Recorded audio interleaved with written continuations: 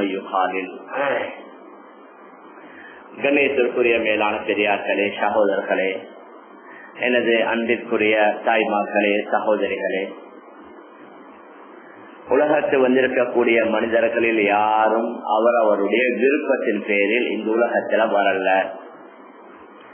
உலகத்துல ஆண்கள் ஆண்களாக பிறந்ததும் பெண்கள் பெண்களாக பிறந்ததும் ஒவ்வொருவருக்கு கிடைத்திருக்கக்கூடிய நிறமும் ஒவ்வொருத்தருக்கு கிடைத்திருக்கக்கூடிய அறிவு ஆற்றல் இவைகள் அனைத்தும் அவரவர்களுடைய விருப்பத்தின் பேரில் கிடைக்கல ஒவ்வொருவரும் அவரவருடைய விருப்பத்தின் பேரில் இருந்தா உலகத்துல அதிகமாக சிலர்கள் பெண் குழந்தைகள் கிடைக்கும் பெண் குழந்தைகளை விரும்புவாங்க. அவர்களுக்கு பெண் குழந்தைகள் மாத்திரம் கிடைத்திருக்க வேண்டும்.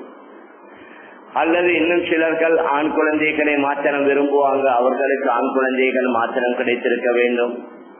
அதிகமானவர்கள் வெள்ளை நிறத்தை விரும்புவாங்க. அதனால எல்லோருமே வெள்ளை நிறத்துல தான் கிடைத்திருக்க வேண்டும். எல்லோருமே அறிவாளியத்தான் விரும்புறாங்க. அதனால அறிவாளிகளா தான் இருக்கணும். ஆனா உலகத்துல நாங்க பார்க்கலாம். அல்லாஹ் படைத்திருக்கக்கூடிய படைப்புகளில் ஆண் குழந்தைகளை வேறாக பெண் குழந்தைகளை வேறாக அதில் சிலர்களை கருப்பர்களாக சிலர்களை வெள்ளையர்களாக இன்னும் சிலரை பொது நிறம் கொண்டவர்களாக இன்னும் பலரை நல்ல அறிவு கூர்ந்தவர்களாக இன்னும் அதிகமானவர்கள் நடுத்தர அறிவுள்ளவர்களாக இன்னும் சிலர் அறிவு குறைந்தவர்களாக இவ்வாறு பலதரப்பட்ட விதங்களில் அல்லாஹ் மனிதர்களை படைத்திருக்கின்றான். மேலான பெரியார்களே சகோதரர்களே ஆக நாம் ஆண்களாக உருவானது நம்முடைய விருப்பத்தின் பேரில் அல்ல. பெண்கள் பெண்களாக உருவானது அவர்களுடைய விருப்பத்தின் பேரில் அல்ல. அறிவாளிகளாகவோ அறிவில் குறைந்தவர்களாகவோ கருப்பர்களாகவோ வெள்ளையர்களாகவோ வந்தது அவர் அவர்களுடைய விருப்பத்தின் பேரில் அல்ல. இவைகள் அனைத்தும் அல்லாஹு அவனுடைய நாட்டப்படி நடந்திருக்கின்றது. எந்த அளவுக்கு நம்முடைய நமக்கு கிடைத்திருக்கக்கூடிய ஒரு அமைப்பு கூட தோற்றம் கூட நாம் நினைத்த அளவுல அந்த தோற்றம் அமையல்ல. நாம் நினைத்த அளவுல அந்த தோற்றம் நமக்கு கிடைக்கல மாற்றமா அல்லாஹு அவன் எந்த தோற்றத்தை விரும்புகின்றானோ அந்த தோற்றத்தை தான் கொடுப்பதாக குரான்ல குறிப்பிடுகின்றான்.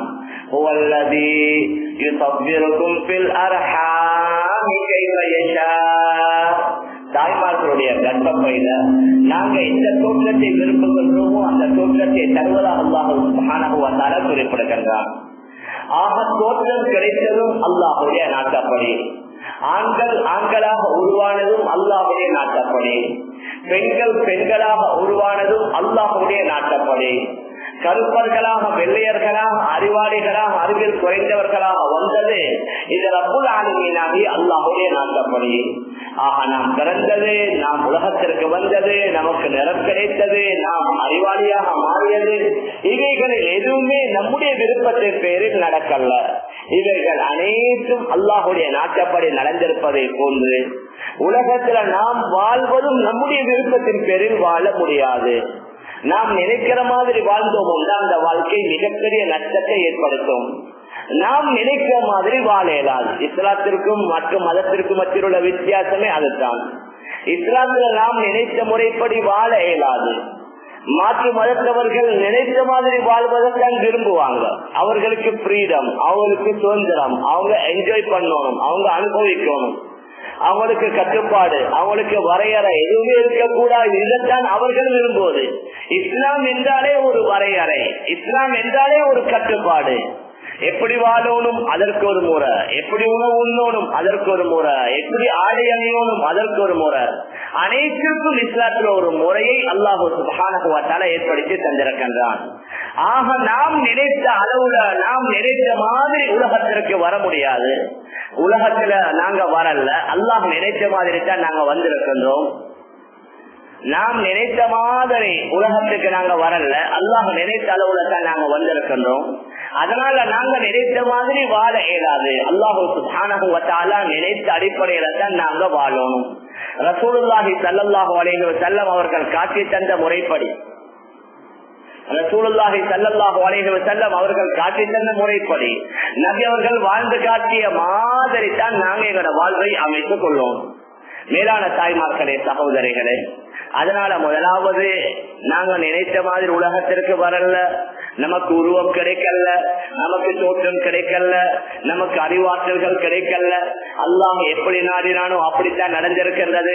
அதே மாதிரி உலகத்துல நாங்க வாழக்கூடிய காலகட்டத்திலையும் அல்லாஹால விரும்பக்கூடிய முறையில அவருடைய ரசூல் செல்லல்லாஹு செல்லம் சொல்லி முறைப்படி வாழ்ந்தோம் என்றால் அந்த வாழ்க்கை மிக வெற்றியானதாக அமையும். எப்பொழுது ரசூலுல்லாஹி சல்லாஹ் அலைவசலம் சொல்லி தந்தாங்க? எவ்வாறு ஒரு குழந்தை பிறந்ததிலிருந்து அந்த குழந்தை மரணிக்குகின்ற வரைக்கும் காலையில நாங்க விழித்ததிலிருந்து இரவு தூங்கும் வரைக்கும் எந்த வேலையை செய்தாலும் செய்தாலும் அதற்கு ஒரு முறையை நபி அவர்கள் கட்டி தந்திருக்கின்றார்கள். அந்த முறைப்படி நாங்க அவைகளை செய்தோம். அவைகள் ஒவ்வொன்றும் வணக்கமாக ஐவாதத்தாக மாறும். நாங்க பார்க்கலாம் அந்த அடிப்படையில குழந்தை செல்வம் என்பதும் அல்லாஹுடைய மிகப்பெரிய அருட்கொடையாக நியமத்தாக இருந்து கொண்டிருக்கின்றது. உலகத்துல எத்தனையோ நியாமத்துகள். பணத்துடைய நியாமத் ஆற்றலுடைய நியாமத் திறமைகளுடைய நியாமத் செல்வத்துடைய நியாமத் வீட்டுடைய நியாமத் சுகத்துடைய நியாமத். இப்படி எத்தனையோ நியாமத்துகளை அருட்கொடைகளை அல்லாஹூ சுபான வைத்திருக்கின்றான். இந்த நியமத்துகள்ல மிகவும் பொறுமதி வாய்ந்த ஒரு நியாமத்து இருக்கின்றது என்றால் அது குழந்தை செல்வம் தான் ஏனென்றால் அது மனிதனுடைய கட்டுப்பாட்டில் இல்லை மனிதனுடைய ஆற்றல்களை வைத்து திறமைகளை வைத்து சக்திகளை வைத்து அவைகளை பெற்றுக் கொள்ள முடியாது மாற்றமாக இது தனிப்பட்ட அல்லாஹுடைய கருணையாக அல்லாஹுடைய கிருப்பையாக இருக்குது அதற்கான குரான் அல்லாஹு சுபான குறிப்பிடுகின்றான் நில்லாஹி முல்கு சமாவாத்தி வல் அருள் யகுலுக்குமா யஷா يهب لمن يشاء إناثا ويهب لمن يشاء الذكور أو يزبجهم ذكرانا وإناثا ويجعل من يشاء عقيما வானத்துடைய பூமியுடைய ஆட்சி அதிகாரம் அனைத்தும் அல்லாஹுடைய கையில் இருக்குது அவன் எதை நாடுவானோ அதை படைப்பான் அவர் நாடியவர்களுக்கு பெண் குழந்தைகளை மாத்திரம் கொடுப்பான்.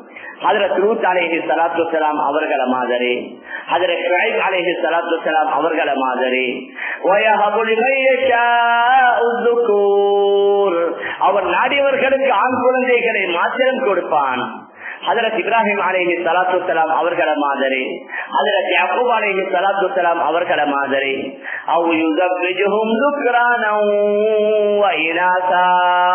அவன் நாடியவர்களுக்கு ஆண் பெண் குழந்தைகளை இரண்டர கலந்து கொடுத்து விடுவான்.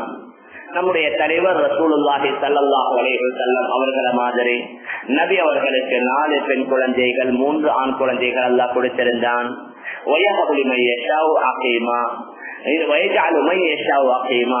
நாடியவர்களை மலர் மலரர்களாக அல்லாஹ் ஆக்கி விடுவான் அதற்கு யஹ்யா அலிஹி சலாத்து அவர்களை மாதிரி அவர்களுக்கு அல்லாஹ் குழந்தை பாக்கியத்தையே கொடுக்கல மேலான தாய்மார்களே சகோதரிகளே ஆக அல்லாஹூத்தால யார் யாருக்கு எப்படி எப்படி நாடுகின்றானோ அப்படி அப்படி குழந்தைகளை கொடுத்திருக்கின்றான். சிலர்களுக்கு பெண் குழந்தைகளுடைய ஆசை அவர்களுக்கு ஆண் குழந்தைகள் மாத்திரம். சிலர்களுக்கு ஆண் குழந்தைகள் ஆசை அவங்களுக்கு பெண் குழந்தைகள் மாத்திரம்.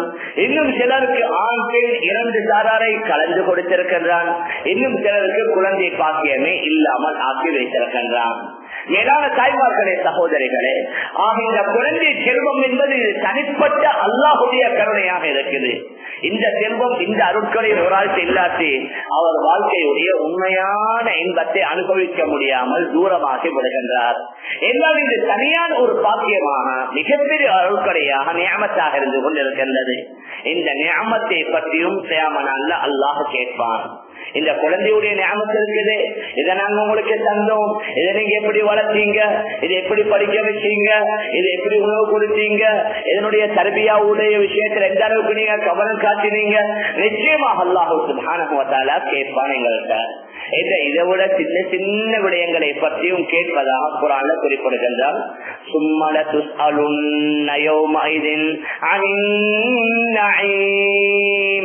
ஒவ்வொரு அறுப்படைகளை பற்றி நீங்க கேட்கப்படுவீங்க என்று அல்லாஹ் குரான்ல கூறுகின்றான். இந்த தத்து இந்த ஆயத்துடைய விளக்கத்துல நாங்க ககும் தாகத்துல ஒரு கிளாஸ் நீர் குடிக்குகின்றோம். அந்த நீரை பற்றியும் ரப்புல் ஆளுமையினாகிய அல்லாஹ் கேட்பான். கடும் வெயிலிலிருந்து கொஞ்ச நேரம் நிழல்ல வந்து உட்கார்ந்துகின்றோம். அந்த நிழலில் உட்காருவதை பற்றியும் அல்லாஹ் கேட்பான். கால சூடு ஏறாமல் இருப்பதற்காக வேண்டி நாங்கள் செருப்பு அளிக்கின்றோம் அந்த செருப்பை பற்றியும் அல்லாஹ் கேட்பான். இந்த சின்ன சின்ன விடயங்களை பற்றி அல்லாஹ் கேட்பான் என்று சொன்னா இவ்வளவு பெரிய குழந்தை செல்வம். இதை பற்றி அல்லாஹ் கேட்காமல் விட்டு விடுவானா? மேலான தாய்மார்களே சகோதரிகளே ஆஹா ரசூலுல்லாஹி ஸல்லல்லாஹு அலைஹி அந்த குழந்தைகளுடைய விடயத்திலையும் எங்களுக்கு அழகான வழிகாட்டுதலை செய்து தந்திருக்கின்றார்கள். இதுல நாங்க வணக்கம் ஐபாதத் எங்களோட தொழுகை நோன்பு தக்காத் ஹஜ்ஜு ஜிக்கரு திலாவத்து இத மாத்திரம் நபியவங்க சொன்ன மாதிரி செஞ்சிட்டு எங்கட புள்ள வளர்க்குதல் எங்கட மற்ற மற்ற மற்ற விஷயங்களை நாங்க நினைச்ச மாதிரி செய்வதற்கு அனுமதி இல்லை. எதுவாக இருந்தாலும் சரி அனைத்திற்கும் நபியுடைய வாழ்க்கையில மாதிரி இருக்குது. ரசூலுல்லாஹி ஸல்லல்லாஹு அலைஹி வஸல்லம் செய்து காட்டி தந்திருக்கின்றார்கள். அதனால முதலாவது யாருக்காவது குழந்தை கிடைத்து விட்டது என்று சொன்னா குழந்தை கிடைத்தவுடன் அந்த குழந்தையுடைய வலது காதல பாங்கு சொல்வது இடது காதல எக்காம சொல்வது அது மிக முக்கியமான ஒரு சுண்ணாவாக இருக்குது. இந்த குழந்தை பிறந்தவுடன் உலகத்திற்கு வருகின்றது. வந்தவுடன் அதனுடைய காதல முதலாவது விழுகிறது. அல்லாஹ் அக்பர். அல்லாஹத்தான் மிகப்பெரியவன் உலகத்தில் உள்ள மற்ற அனைத்தும் சிறியது. பாங்குல நாங்க பார்க்கலாம்.